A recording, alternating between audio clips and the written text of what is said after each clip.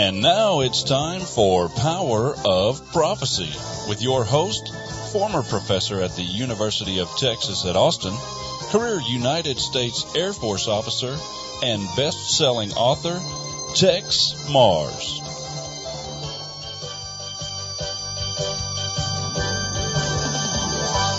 Hello, friends. This is Texe Marrs. Welcome to another edition of Power of Prophecy.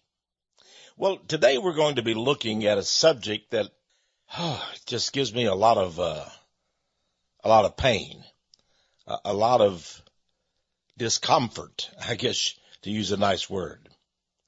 But it's something that we all need to look at, we need to understand, and we, we need to dwell on in our mind. You know, the Bible tells us to look at things that are pure and good. And of course, that's true. We need to look at things as well as we can, rosy, happy, be contented in our lives. I, I think with Jesus Christ, a person is naturally that way. And yet Paul said, the apostle Paul said, but we are not ignorant of the devices of the devil. We're not ignorant of the devices of the devil.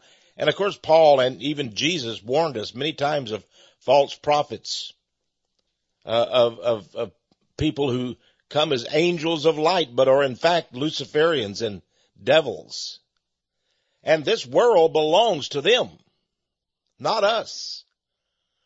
So Christians need to understand.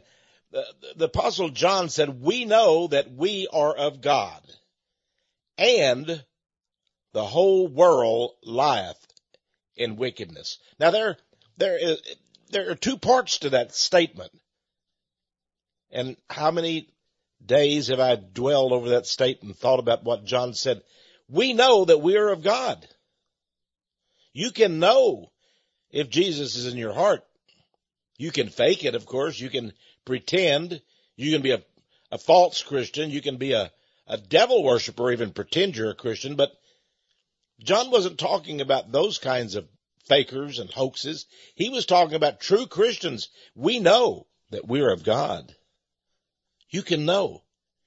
And there's an and there. Uh, he combines that with something else. And the whole world lieth in wickedness. So when we look on the world, we can see the monstrosity that the devil, the Satan has turned this world into. And we can't deny that fact. And we can't, you know, we cannot escape it. You know, when Satan took Jesus into the desert. He took him to a very high place and he, he looked out and he could see the whole world.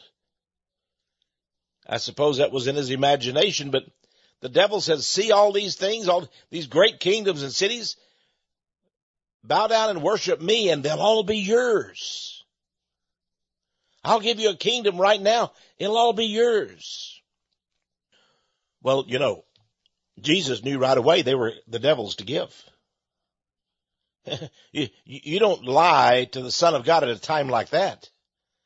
See, Satan had rebelled many, many, you know, many, many years before. He had rebelled and one third of the angels of heaven went with Satan and they were cast down.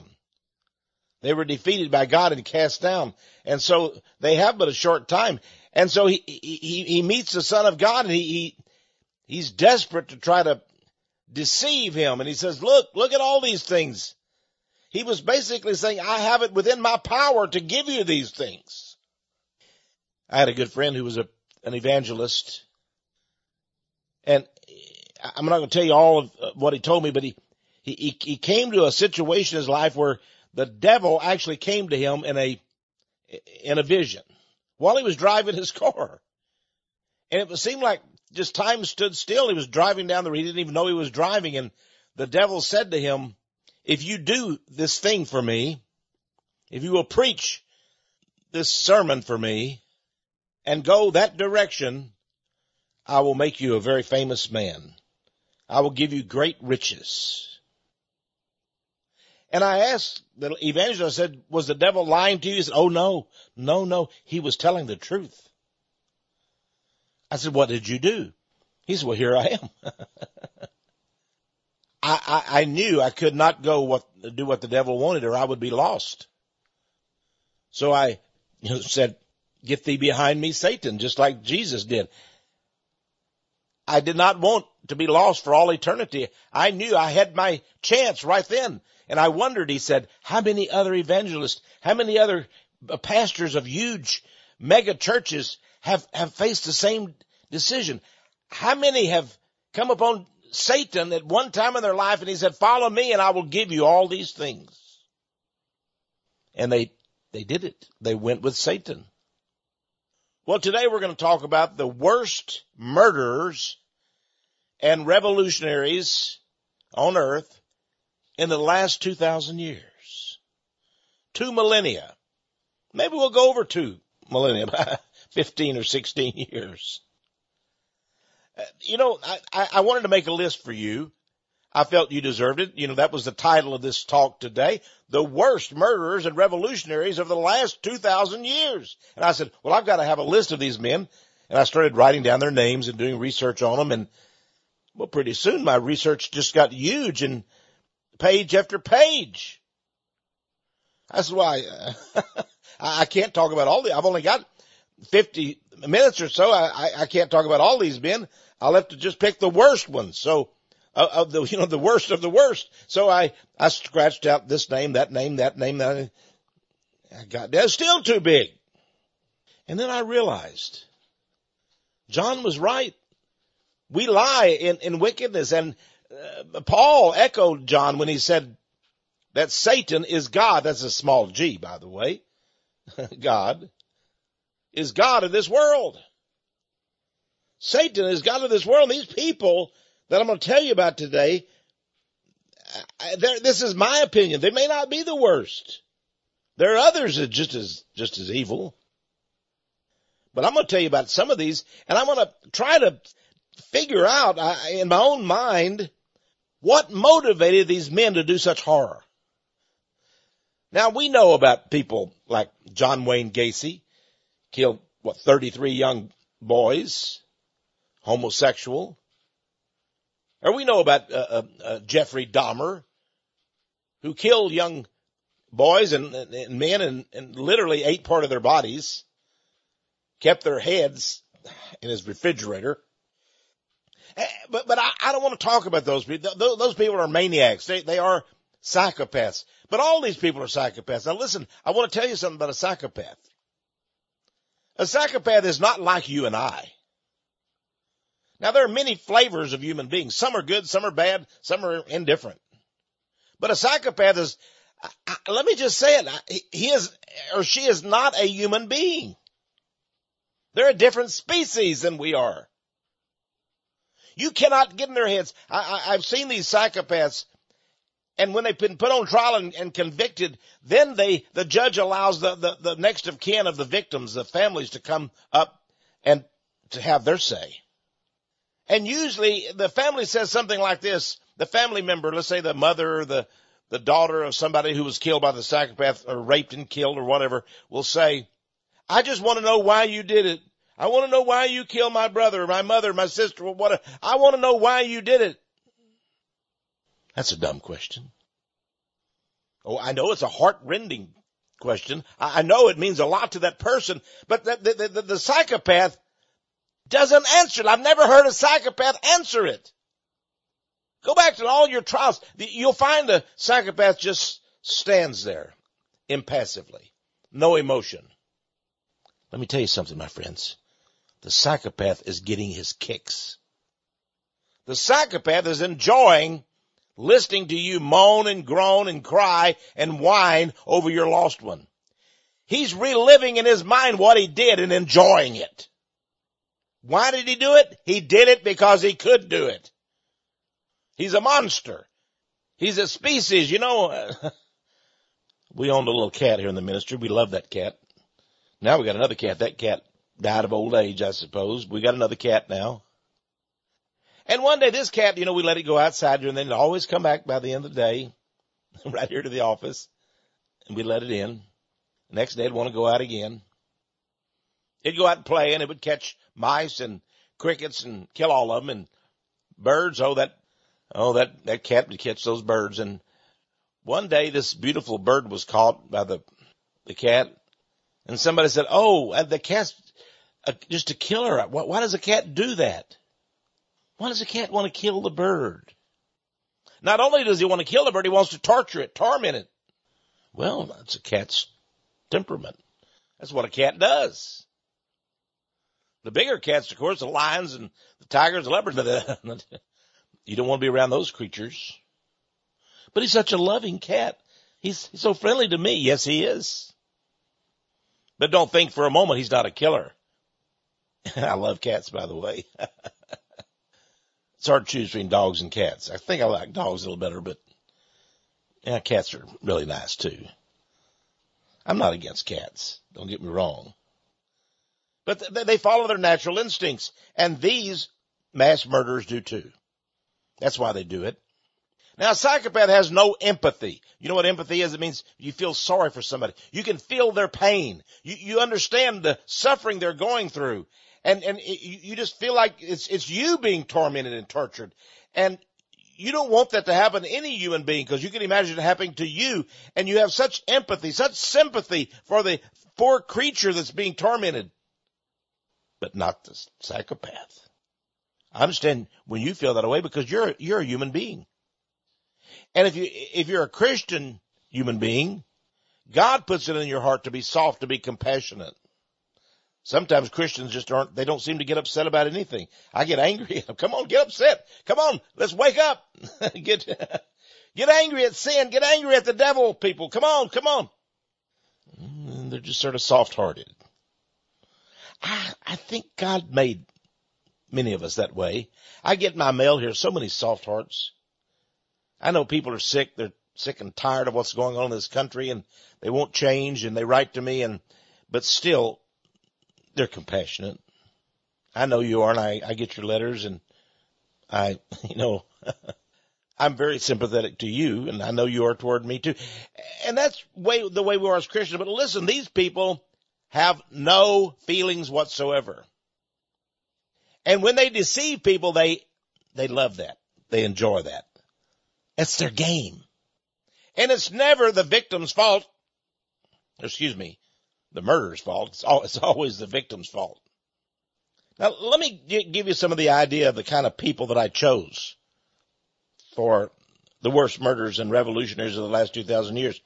Lenin, Trotsky, of course, Marx was their teacher. We'll cover Marx too. The French Revolution around the end of the 1700s, early 1800s. Robespierre was one of the men there. There's, of course, the Jesuits in Loyola. He wasn't as bad, of course, as Torquemada. Who's Torquemada? Well, he was the, the Inquisition head. He was the guy who put Christians on the rack, tortured them.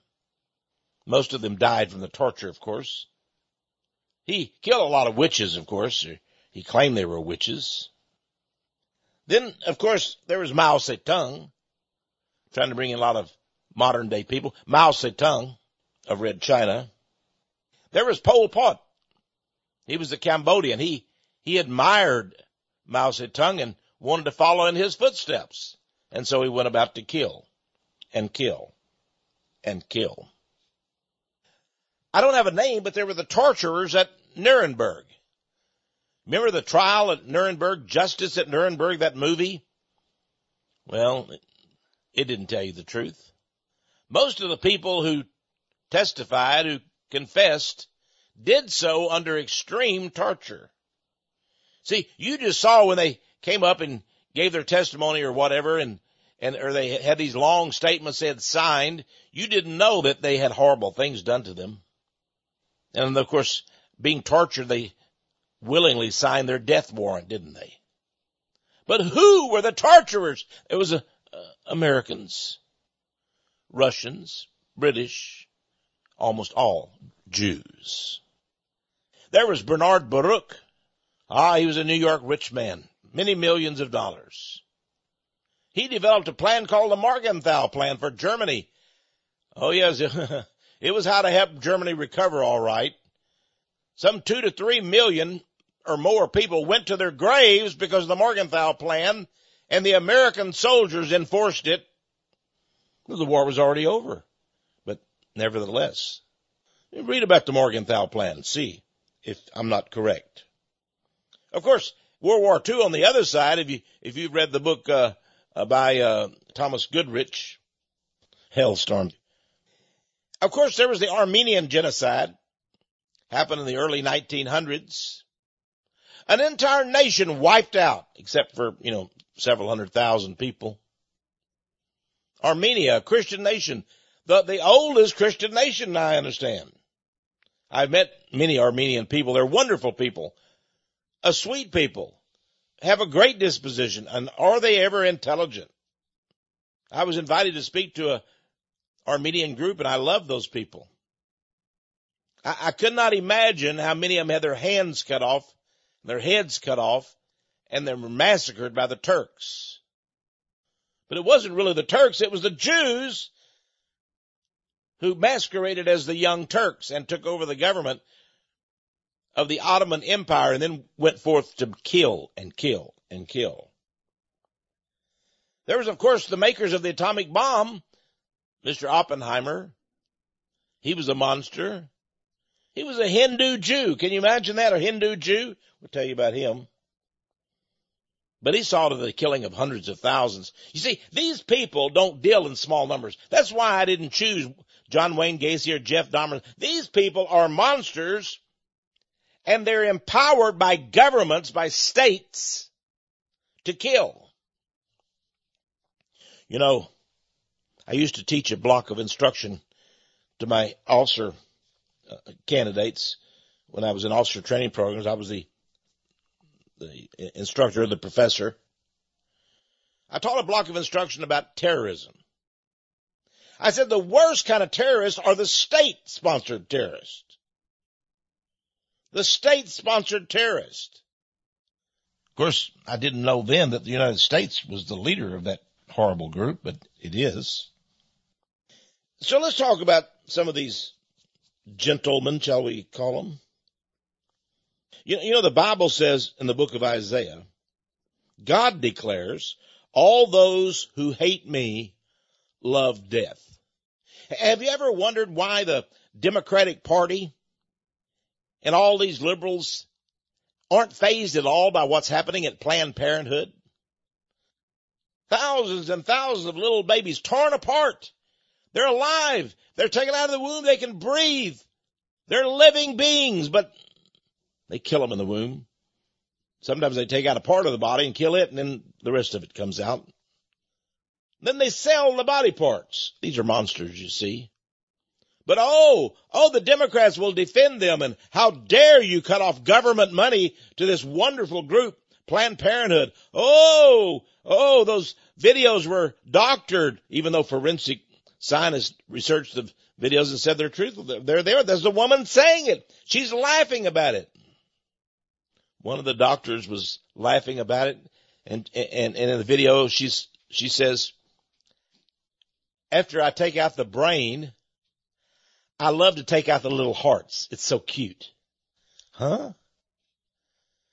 I love to cut out the heart of the little baby. It's so cute to have a little beating heart in my hand. I suppose is what she meant.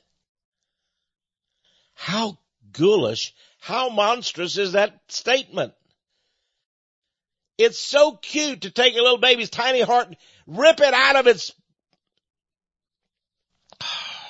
chest.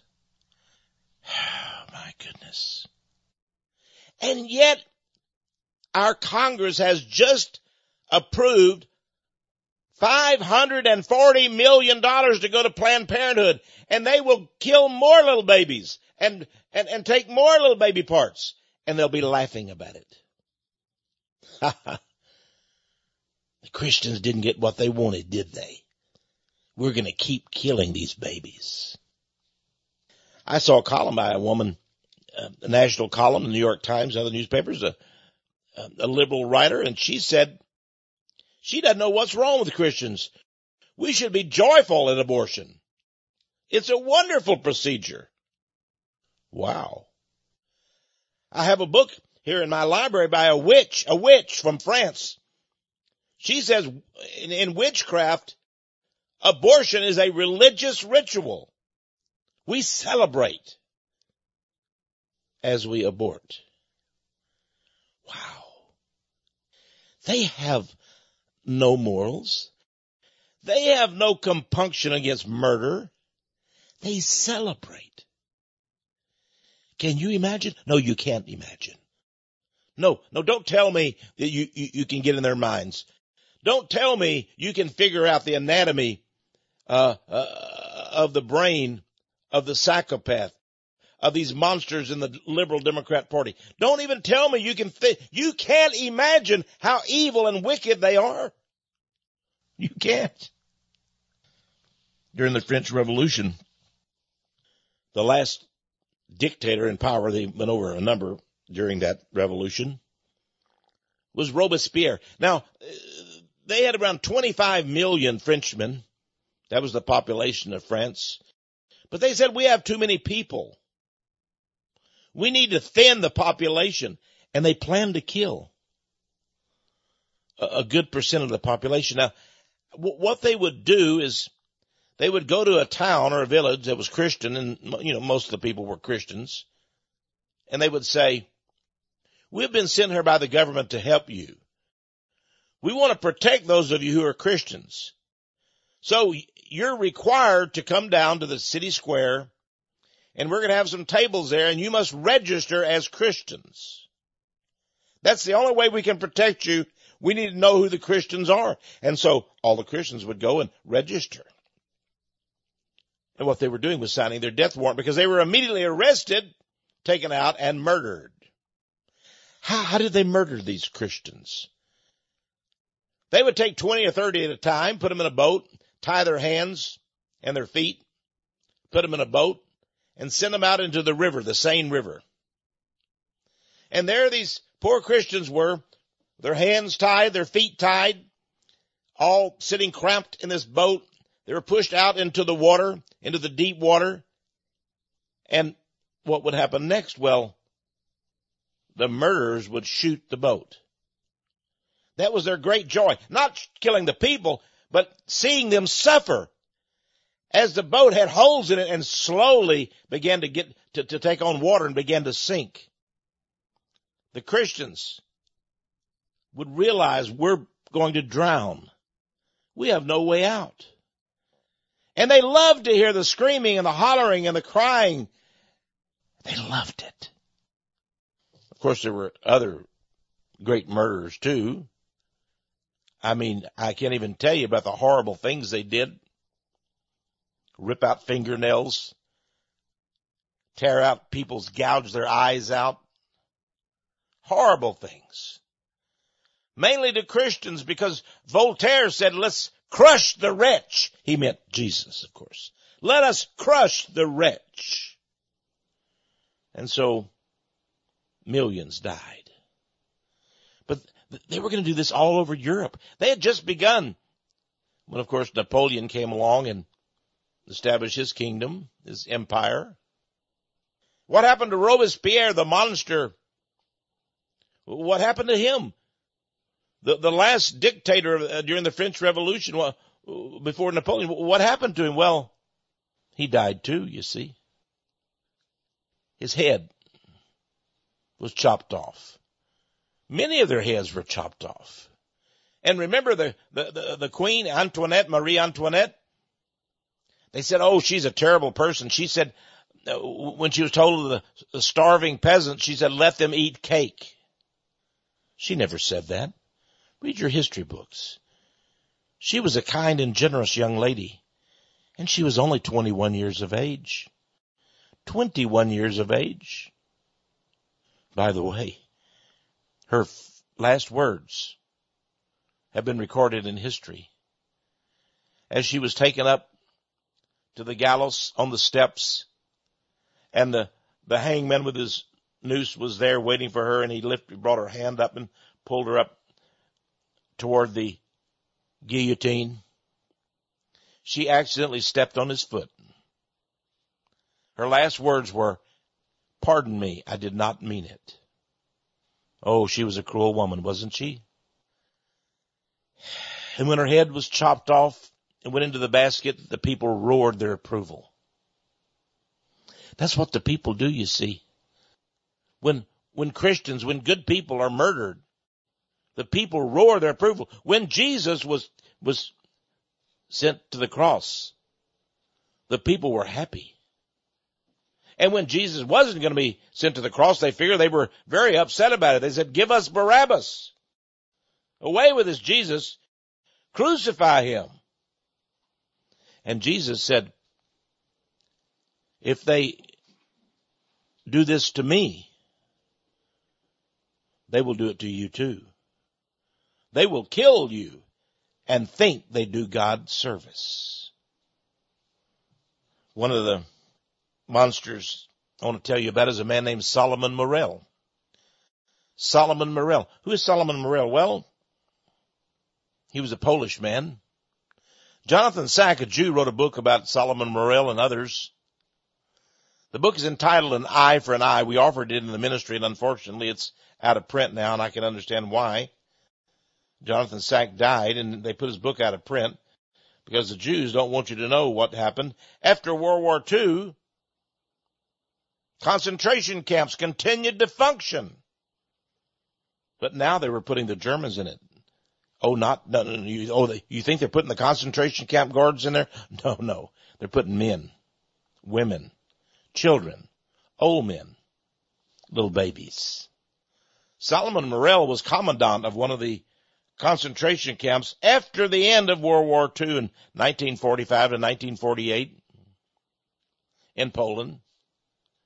One witness said he took a baby out of the arms of a crying German woman. Her only crime was she was a German.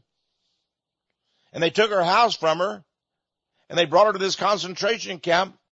And Solomon Morel met a, a, all of the Germans as they came there. He, he met them. And he said, I'm Solomon Morel. I'm your commandant. You have come here to die. That's what he told them. You have come here to die.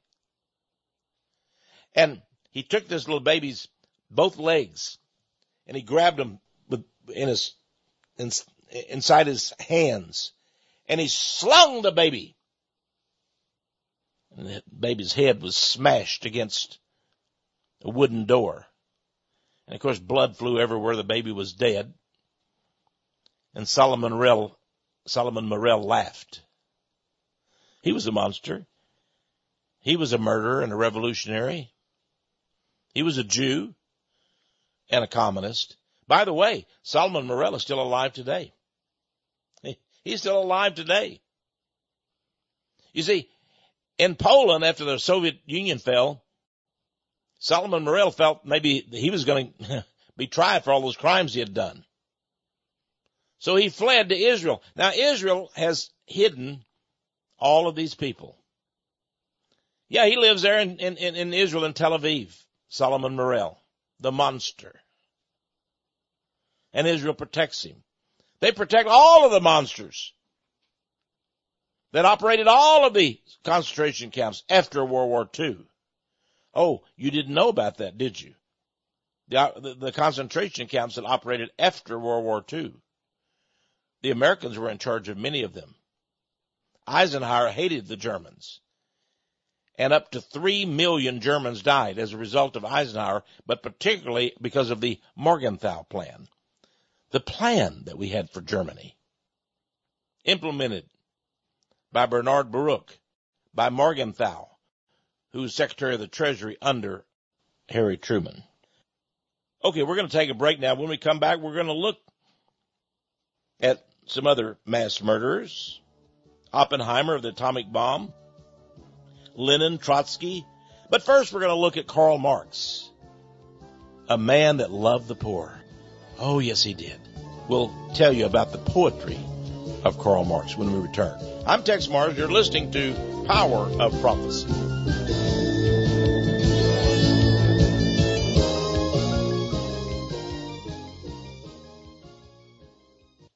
Conspiracy World, a truth teller's compendium of eye-opening revelations and forbidden knowledge. You know, I wrote Conspiracy World several years ago and I was just reading again the last couple of days. And, and I thought, you know, how, you know, perceptive uh, that I was. God gave me all this information. many years of research, many dozens of articles about the Illuminati, the global conspiracy, and these mass murderers. It starts off in page one with uh, an article entitled Revolution of Blood. And there's a picture of Vladimir Lenin sitting in a hospital bed. And look at his eyes. They're the eyes of a maniac. They said that during his last days he lost his mind. His nurse would wheel him out in his wheelchair to the balcony and he would look out into the valleys below and he would howl like a wolf. Oh! That was the destiny. That's how Lenin ended his life. You see, the doctors say he was ravaged by syphilis, a sexual disease. And that strange look in his eyes is because his brain had rotted out. I, I believe that that was 1923. That was only six years after the communist revolution. And it, he turned over the whole empire, of course, to a worse madman than he, if that were possible, Joseph Stalin. By the way, Lenin's mausoleum, you know where they put his body? Where, where Russians even go today to worship Lenin. He's like a god, even though he said he didn't believe in a god. He did. He, he, he did all those horrible things for the Jewish gods. Did you notice I said gods? That's right. There are multiple gods in Judaism. His mausoleum, Lenin's mausoleum, and I point this out in Conspiracy World, this fabulous book, is the Pergamon Museum, the Pergamon Temple. You know, the Bible talks about Pergamos, a city in Greece. And it's interesting that in the book of Revelation, it talks about Pergamos as being the seat where Satan dwells, the seat of Satan. Wow. Did, did you know that Satan has a throne on earth? And at that time, it was in Pergamos in Greece. It was a Babylonian temple. I have a picture of it in a new book I'm going to be coming out with in about three more months entitled Dark Citadel. Right now, though, I want you to know that I, on page 17 of Conspiracy World, I tell you that in Russia, they built a model, a, a replica of the Babylonian temple in Pergamos, the seat where Satan dwells. And there, they have you, I guess it's a pickled or petrified body of Lenin. They, they, they keep it in a, a, a big glass contraption, a glass coffin. And as you go by, you can see there's Lenin. He, he looks as good as he did when he was freshly alive. They say every so often they take the body out, empty all that gunk, put new material. I, I don't know what it is. Some say they they studied the ancient e- Egyptian, you know, King Tut and all the others, and uh, their bodies were kept so well, and they were given all these spices and things. By the way, this same mausoleum, this Babylonian temple, that was uh, still exists in ruins today in Pergamon, in Pergamos in Greece. Somebody told me recently that they had gone to North Vietnam to visit. And the taxi driver said, would you, he went to, uh, you know, Ho Chi Minh City, I believe it was, the, the capital. And the taxi driver said, sir, would you like me to take you to Ho Chi Minh? That's the, the leader during the Vietnam War years. Ho Chi Minh's mausoleum? Remember now, Ho Chi Minh was a communist. And so the American said, yeah, I'd like to go see his mausoleum, you know, the, he, he thought he would see, you know, like, like in China, you know, they have the big buildings, you know, that look so ornate and all with all of their, you know, but when he got there, when they got there, it was a Babylonian mausoleum. It, it was the temple of Pergamon. And there it was, right in the capital of, of Vietnam. And Ho Chi Minh's body is housed there. The communist. It seems to me the communist Jews who founded communism knew what they were doing, don't you think, friends? I mean, the, the, the, the temple of Pergamon, where uh, God said that's the seat of Satan, is now the mausoleum, the, the final resting place for Lenin and for Ho Chi Minh. Oh, there's more though. My goodness gracious. I went to Washington DC and there I visited the house of the temple. Exactly 13 blocks from the White House. And I was told the house of the temple is built just like the temple in Pergamos. I went in and they showed me the sanctuary and, and behind the, the granite, the black granite altar were huge golden serpents on the wall. What is this? I thought. And then they said the wonderful thing about the house of the temple of International Freemasonry right here in Washington DC is that it is the final resting place, the mausoleum for our great sovereign grand commander, Albert Pike. They have his body there at the house, in the mausoleum. Oh my. Those Masons know what they're doing, don't they? Now, remember I said that Isaiah says, all those who hate me love death. And the, the Freemason Voltaire in France in 1798 during the French Revolution said, our real object is to crush the wretch. That's their real object. You know, pornography is a big thing in America today. Pornography. The Jews seem to control it all and run it all and have all of these horrible films and snuff films and uh, television uh, websites and so forth. And, and one of the, the worst people is, is a Jew who just a horrible Jew who, who did a lot of these things and produced a lot of these movies. And they said, why, why did you get involved in pornography? He said, let me tell you one reason, one reason only. Because I hate Christianity. And the more of these dirty movies I did, the more I, I, I, I believe that I was just digging into Christianity. He did it. He produces pornography out of a hatred for Christianity. What, what, who would have thought such a thing? Of course, the devil is a fickle master. Robespierre, who I told you about, who was Jewish, by the way, Frenchman, he was beheaded himself. He beheaded others and he himself was beheaded. Doesn't the Bible say in Revelation chapter 13, he who lives by the sword shall die by, by the sword? Of course, the Freemasons say, and this was the goals uh, of, of the, of the French Illuminist. And by the way, I didn't even tell you about another monster. The, the, the founder of, of the Illuminati in 1776. The goal of the Illuminati was liberty, equality, fraternity. Why? Isn't that what Hillary Clinton's claiming now? Equality for women? Oh yes. Let me tell you a little bit of the things that happened in France. During this time of liberty, equality, and fraternity, Protestant ministers and Catholic priests had their eyes gouged out. Many were shot, others bayoneted. Still others stomped to death or killed with a sword. Crazed rioters tore many to pieces. Of course, Queen Antoinette and France's uh, king, Louis the Sixteenth, were beheaded. And the lies are still told about this man, although he was a very kind king. Across France, over three million people perished.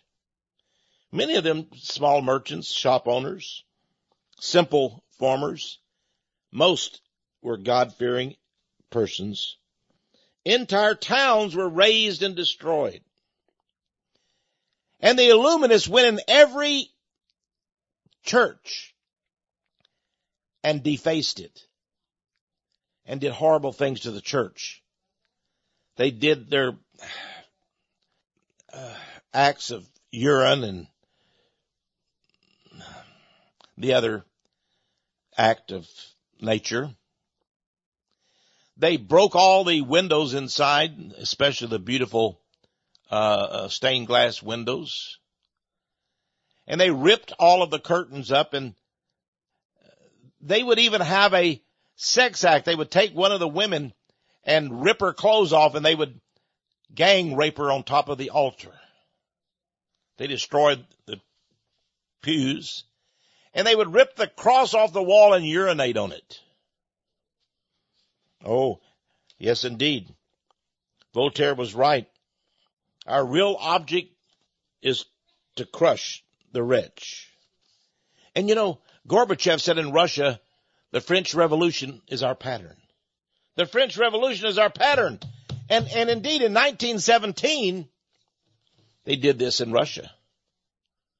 Lenin was in charge, Trotsky with his deputy, and somewhere down the line was Stalin, who became the big honcho after Lenin died, just six years later. But Lenin was indeed a monster. In the book Under the Sign of the Scorpion, written by Jüri Lina, the author uh, used uh, freshly unearthed historical archives from Russia to explain the, the Red Terror, because that's what took Russia, the Red Terror. Now, Lenin's own wife, Nadezhda Krupskaya, she wrote a book called Memoirs in 1932 that told all about it. She said Lenin would, for his enjoyment, for his personal time, when he wanted to be by himself, he would row a little boat. There was a little island in the Yenisei River where many rabbits had migrated. They call it the Rabbit Island. Rabbit, R-A-B-B-I-T. And Lenin would row this boat over there. For his own sick pleasure, the cruel Lenin would club rabbits to death. He would chase all over that island, clubbing rabbits to death. They said he would club so many rabbits to death with the butt of his rifle. He didn't, didn't even shoot him. He wanted to club. He wanted to, to hear the thud of the, the rifle butt. But one time, so many rabbits were in the boat that the boat actually sank. It was so full of dead rabbits. Lenin, they said, was drunk. That's what his wife said. He became drunk with glee at the awful sight. Can you imagine getting drunk on seeing dead creatures, dead animals?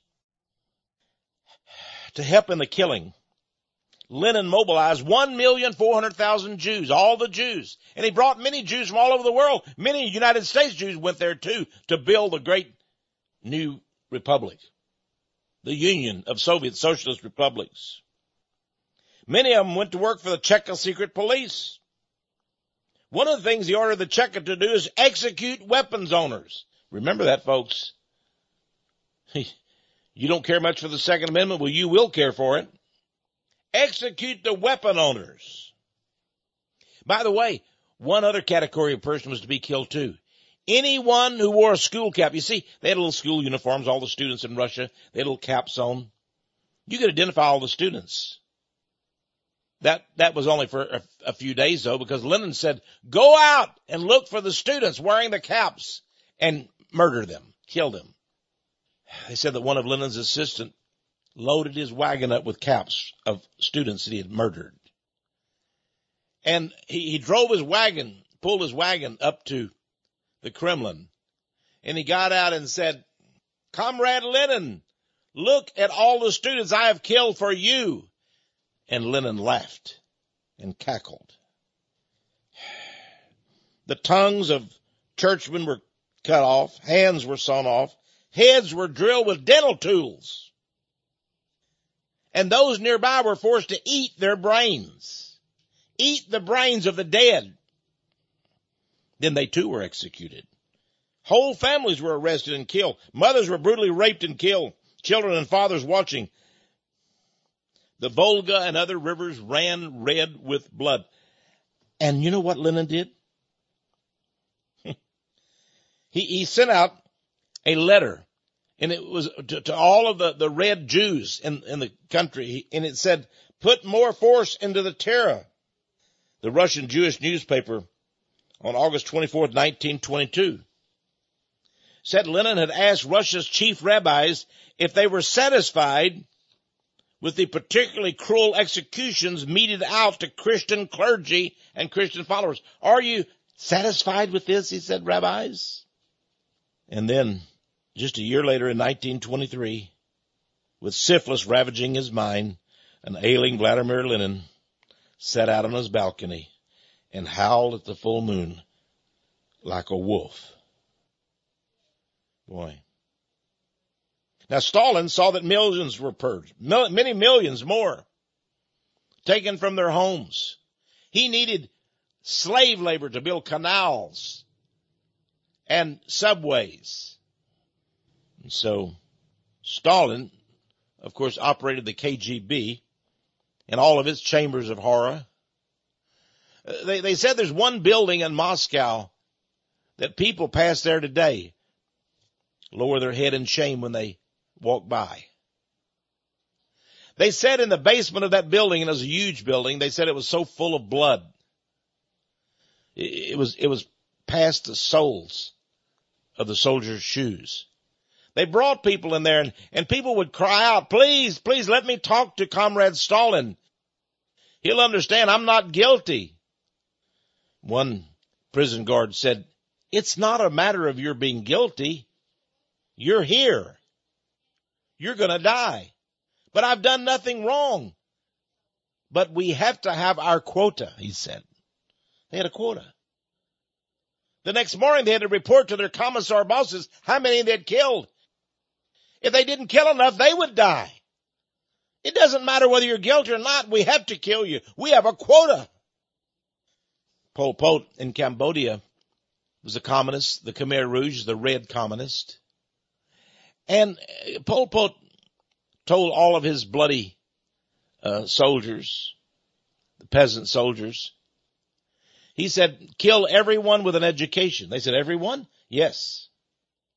Go through all the records and find everyone who graduated from a middle school, you know, the American equivalent of a middle school, the eighth grade, ninth grade, and kill them. I won't know college graduates alive. I, won't know one who's finished a high school alive. And so they went forth. At first, they cried out, is there anyone here that has a high school diploma?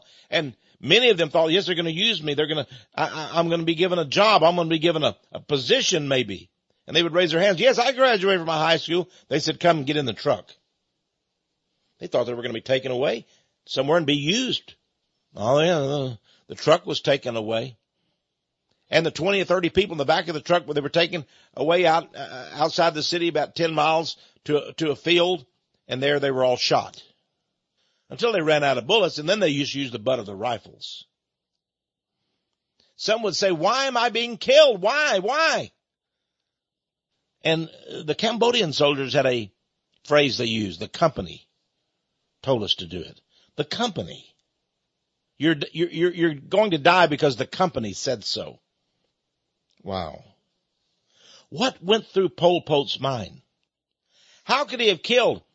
They, they say that Cambodia had some four and a half million people and two and a half million died. What went through his mind? Well, in Armenia, the beginning of the 20th century, that nation also had about four and a half million people, they said and up to a million and a half were murdered. Well, one day the Turks just came in and they'd been friends and many Armenians were in the government and they had a small little country there that bordered. On one side was Russian, on the other side was Turkey. And they, they, they never got into war with anybody. They're very friendly, but the Turkish soldiers came in one time and said, our leaders have told us you must all leave. Well, where, where will we go? They said. We have a place for you in Syria. You're going to march there. Oh, surely not. They said, I mean, how is it possible we could get all the way to Syria just walking on our feet? The soldiers said, come or you die. And they took many and killed them right away. And of course, all the people left. And they said, leave your things here. Take no clothes. Take no, no, no, no jewelry. Take nothing with you. No food, nothing. And some men said that's hundreds of miles over very rugged land, uh, uh, uh, some places almost don't even have a road. How can we possibly make it? We look, our grandfather, he's 70, 80 years old. How, how my mother, my grandmother, how, how can they possibly make it? You die. And they were killed right then. And so they all got on the road. Hundreds of thousands, stragglers. Now along the way they were killed. Most of them were killed as they traveled. You see, the Turks, Turkish soldiers were not interested at all in them getting there. What motivated the Turkish soldiers? Their hatred for the Christians. See, most of them were Muslims, but their leaders were Jews. They call them the Young Turks. Read about the Young Turks that took over Turkey. They were actually Jews from Salonika in Greece. The British consul was notified of these horrors that were going on and he, he was ordered by his government to check out and investigate. And he took some of his uh, countrymen with him and they went down to the, uh, uh, to, to the, to the road where all of these people were straggling down and he looked and he saw a sight that he had never beheld in his life. Along the road where all of these people were going down the road, struggling to make one more step, he saw human bodies. Human bodies, one after another, dead, killed by the soldiers.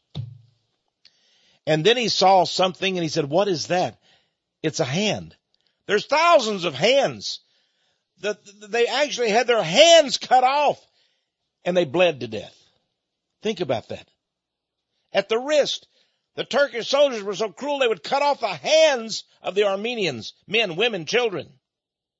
And they would try to take their clothes off and wrap their, their, their, their limbs so that they wouldn't bleed, but naturally they bled to death.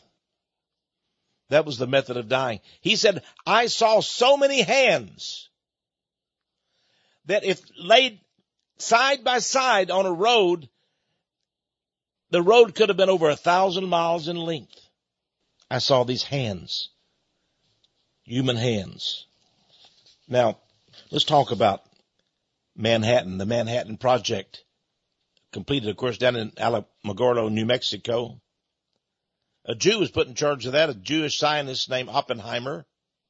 And when the first atomic bomb blew up that they had, you know, experimented with, and he saw the incredible blaze, he was, of course, miles away, and they, he, he saw this incredible mushroom cloud going up.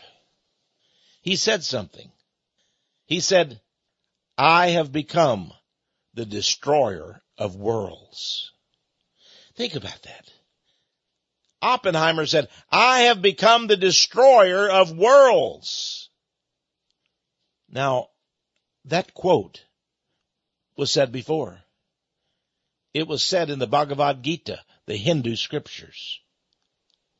it, it is the words of the great God of the Hindus, Krishna. I have become the destroyer of worlds said the God of the Hindus. And there Oppenheimer, a Jew, was declaring that he had become the destroyer of worlds. Now these Jews and the French Revolution, they were basically communist, although we didn't call it communism at the time. But around 1838, the communists came forth and Karl Marx became their leader with his writings. Now, did he write for the people? Was it really power to the people that Lenin once said was his motto? Let me read to you. I'm reading from the book Marx and Satan by Pastor Richard Wurmbrand. Wurmbrand should know about Marx and Satan because he was tortured for Christ in a communist prison in Romania. And he, he, he writes on page 15, he quotes Karl Marx a, a, a drama, a play that Karl Marx wrote called Oulanem. O-U-L-A-N-E-M. Now, what is the meaning of Oulanem? Well, according to Pastor Wurmbrand, it's an inversion of the holy name Emmanuel, a biblical name of Jesus, which means in Hebrew, God with us. Well, Marx decided to turn it around. The inversion of a name is pretty effective, they say in black magic. So he named it Oulanem. Listen, this is like a confession. A confession. In a poem that Marx wrote. The hellish vapors rise and fill the brain, wrote Marx, till I go mad and my heart is utterly changed. See this sword? The prince of darkness sold it to me. For me, he beats the time and gives the signs. Even more boldly I play the dance of death. Hmm. He knew what he was starting. The devils had no, no doubt told Marx how important a man that he would become, and he would be quoted by communists throughout the world. Now let me read you the end of Oulanem, the end of it. He wrote a poem called Invocation of One in Despair. He said, I wish to avenge myself against the one who rules above. Ah, that's what he was doing. He hated God. I wish to avenge myself, wrote Marx, against the one who rules above. If there is a something which devours, I'll leap within it, though I bring the world to ruins. The world which bulks between me and the abyss. I will smash to pieces with my enduring curses. I'll throw my arms around its harsh reality. Embracing me, the world will dumbly pass away and then sink down to utter nothingness. Perished with no existence. That would be really living. He says, if I could, I would attack the sun, deprive the universe of it. I would use it to set the world on fire. These would be real crimes. Think of that. He would attack the sun. He said, I would like to split the planet, hinder its process, stop the circle of stars, overthrow the globes that float in space, destroy what serves nature, protect what harms in it. I, I wish to insult it in my works. These would be real crimes. He knew there would be crimes, and he would be the author of it. Well, we've talked a lot then about murders. What do they have in common? They have no sympathy, no empathy for human beings. They gloat. They delight in the torment of others. And we have them in America. The Democrats and Republicans who have now funded Planned Parenthood. Are they not monsters? Are they not equally as guilty as Bernard Baruch as Anton LaVey, the head of the Church of Satan, as Lenin, Trotsky, Marx? Are they not a different species than you and I? Do they not also wish they had the power to take down the globes, the stars?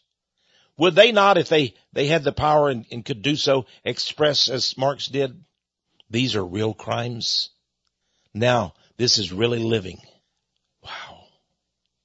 I believe because they don't have Jesus in their heart.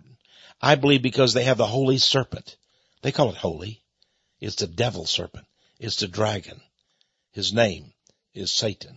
To order Conspiracy World or Marx and Satan and other fine books, simply go to our website, powerofprophecy.com or call 1-800-234-9673.